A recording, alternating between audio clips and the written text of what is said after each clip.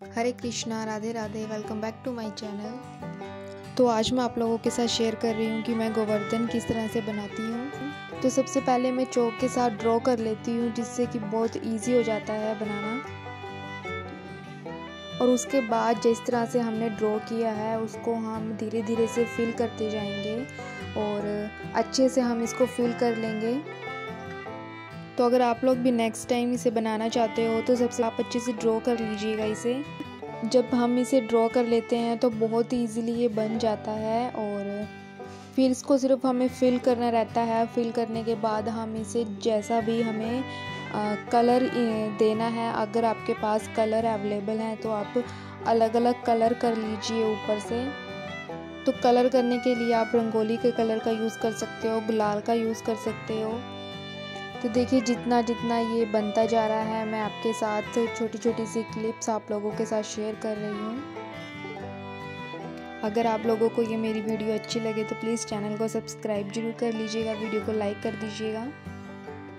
तो अभी हम इसकी साइड्स की जो ये लाइन है, इसको हम फिल कर रहे हैं, ये जो हमने आउटलाइन की है, इसको फिल कर रहे हैं। तो इसको फिल मैंने और मेरी दादी ने मिलकर किया है। उन्होंने हेल्प की है इसमें।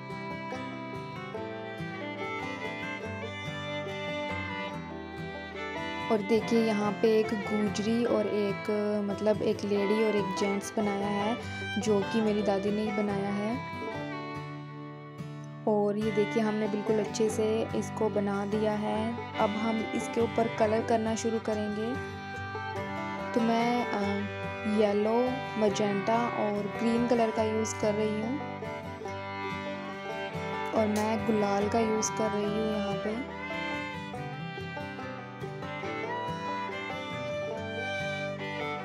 और देखिए मैंने ना जो इयर होते हैं कृष्ण जी के, ये मैंने अलग से ना पहले से बना लिए हैं इस तरह से। जो कि मैं लगा दूँगी कृष्ण जी को और ये मैंने तिलक बना रखा है। ये मैंने अभी बनाया, ये मेरे पास पहले नहीं था। और ये मैंने आईज़ बनाई हुई हैं, साथ ही साथ लिप्स भी बनाए हुए हैं। तो आईज़ और लिप्स तो आप लोगों ने मेरी लास्ट जो मैंने गोवर्धन जी की वीडियो डाली थी, उसमें भी देखे होंगे।